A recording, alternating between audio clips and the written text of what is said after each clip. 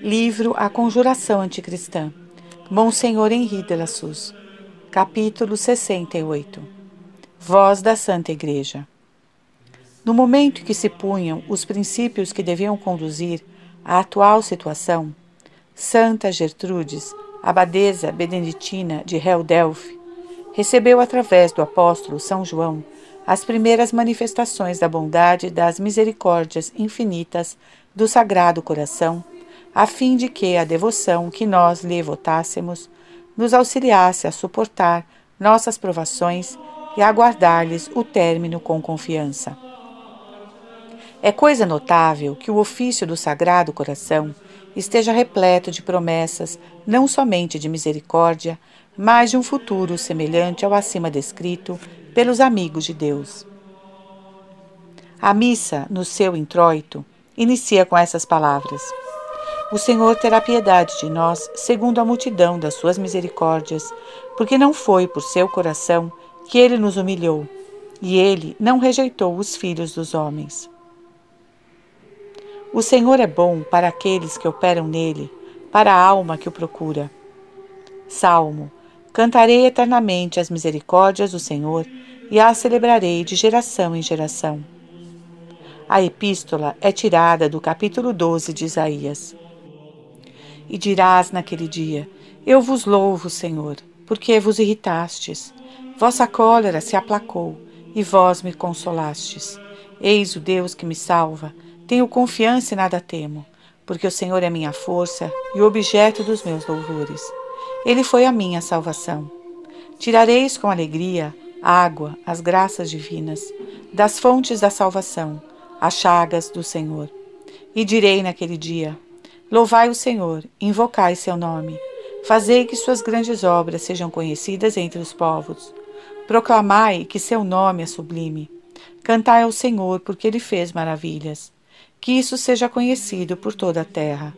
Exulta de gozo e alegria, habitante de Sião, porque no teu meio é grande o Santo de Israel. Nas matinas, a segunda e terceira lição tomam do capítulo 26 a sequência dessas promessas. Naquele dia, cantar-se-á este cântico na terra de Judá. Temos uma cidade forte, a Santa Igreja. Ele, o Senhor, porá a salvação nos seus muros e antemuros. Abri as portas, deixai entrar a nação justa que guarda a verdade. Ao coração constante, assegurais a paz. A paz, porque ele confia em vós. Tende sempre confiança no Senhor porque o Senhor é o rochedo dos séculos. Ele humilhou os que habitavam nas alturas, destruiu a cidade soberba, derrubou-a por terra, reduziu-a ao nível do chão. Ela é calcada aos pés, sob os passos dos indigentes. O caminho do justo é reto. Vós aplainais a senda do justo. Assim também nós esperávamos, Senhor, na senda dos vossos julgamentos. Vosso nome e vossa memória constituíam todo o desejo das nossas almas. Minha alma vos desejou durante a noite, e dentro de mim meu espírito vos procura.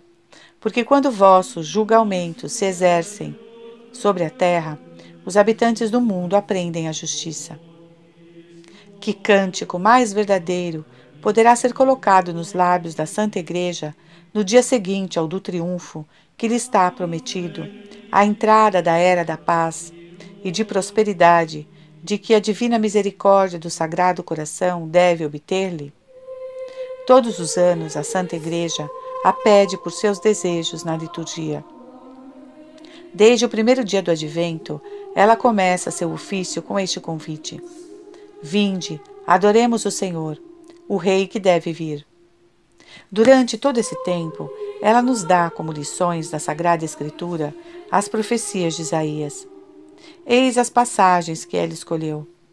Sobre o cume dos montes será fundada a montanha da casa do Senhor, a Santa Igreja.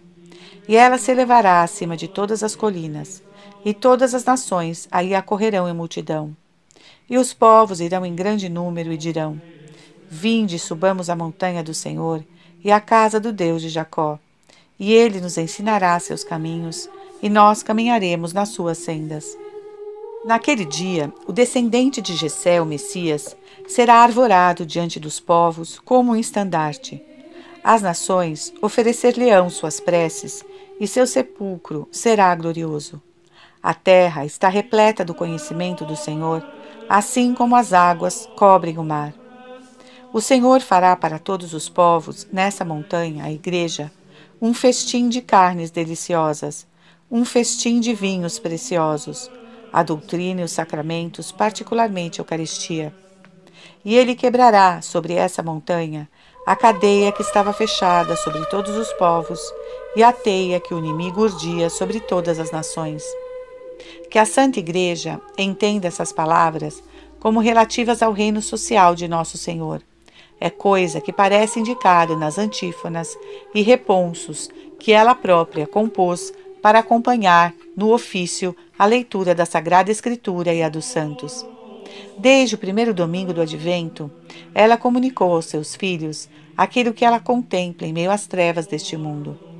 Ela vê chegar sobre as nuvens do céu o Filho do Homem, seu divino esposo, não para julgar os mortais, mas para reinar. Não para reinar unicamente sobre as almas individualmente consideradas, mas para estabelecer seu império sobre todos os povos, sobre todas as tribos e sobre todas as línguas do universo. Aspicemban in visu noctis et et in nubibus coeli filius hominis veniabat, et datum est ei regnum et honor, et hominis populus tribus et lingua servient ei. Eu olhava a visão de noite, e eis que o Filho do Homem vinha sobre as nuvens do céu, e foi-lhe dado o reino e a honra, e todos os povos, tribos e línguas o servirão. Mais adiante, ela exclama: Sim, ele virá, e com ele todos os seus santos. E nesse dia a terra refulgirá com grande luminosidade, e o Senhor reinará sobre todas as nações. Ele dominará até os últimos confins da terra e todos os reis o adorarão, e todos os povos o servirão. Ó, oh, vede como é grande aquele que vem para salvar as nações. Et Dominus veniet, et omnis sancti Jesus, cum el et erit in die, illa lux magna, et regnabit Dominus super gentes, dominatur usque ad, ad terminus orbis terrarum et adorabum eum homines regis, homini gentes serviente ei, intuemini quantus sit iste qui ingredietur ad salvatam gentes. Quando, pois, desde a origem do cristianismo, a Santa Igreja viu algum dia esses desejos se realizarem?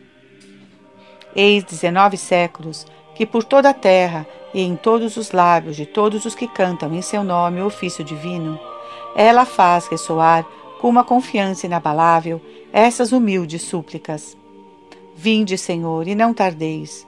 Vinde reinar sobre todas as nações da terra, que desde então não invocarão senão a vós.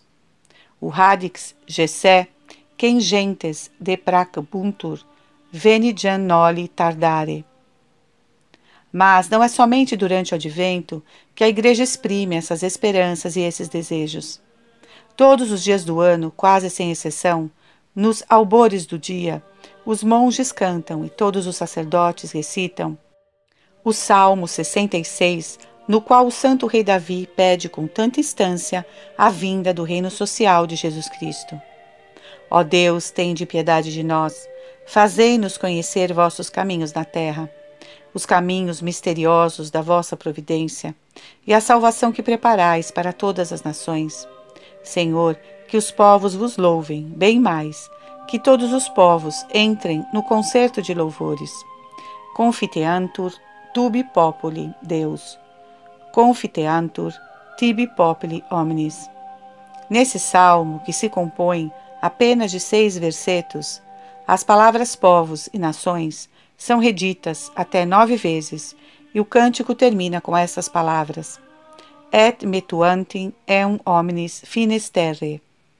Que o temor do Senhor se espalhe por toda parte e atinja todos os confins da terra. Dir-se-á que esse salmo não encerra nada além de desejos e nenhuma promessa formal de Todo-Poderoso?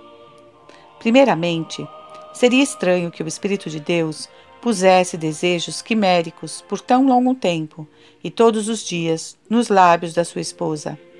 Depois, aquilo que o Salmo 66 contém sob a forma de ardentes desejos, uma multidão incontável de outras passagens da Sagrada Escritura o afirma como um acontecimento futuro, cuja realização não poderia ser retardada indefinidamente.